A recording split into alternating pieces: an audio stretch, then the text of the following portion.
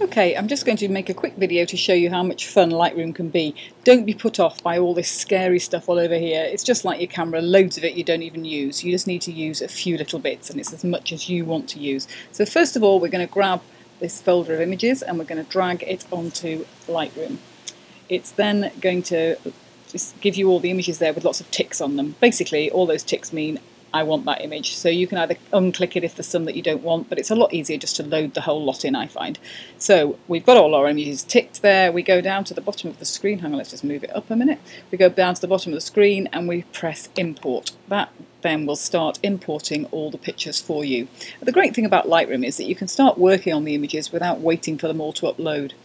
So the first thing we're going to do is just have a little play and see what we can do with them.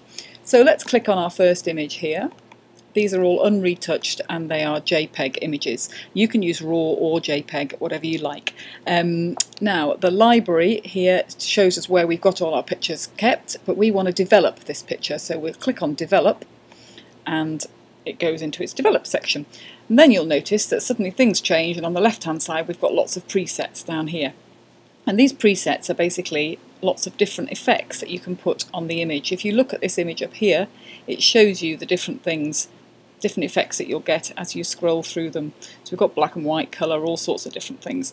So let's just have a look at uh, this one. Let's try Bleach Bypass. That looks quite cute. So we'll tick on that and our picture will change instantly. So that's all we did, press one button and the picture looks fab like it is. Now sometimes it might not, sometimes it might look a bit wishy or a bit dark. You just keep trying them until you find one that you like.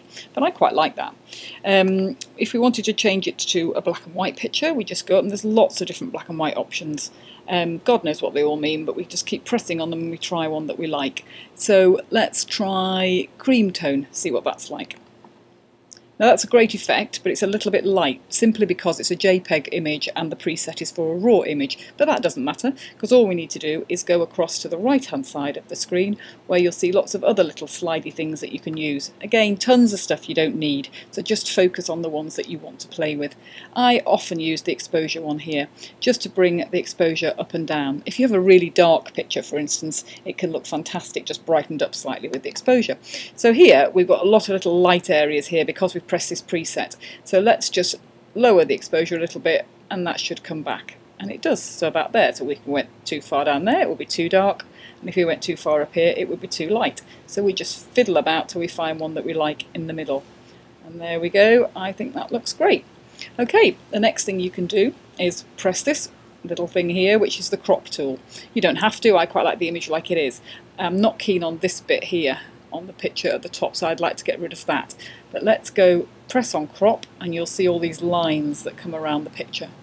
Just get hold of them and drag them into where you want. Suddenly that's gone. Okay, so now it's quite a nice picture. When I shot it, I like the lamp, I like all this sort of stuff in it, but let's just try taking the lamp out just to give a different effect. So we'll crop in like this, and suddenly we've got a slightly sharper picture, closer picture. Hit done, and it's done. And there's our picture and on the next few videos I'll be showing you how to do more.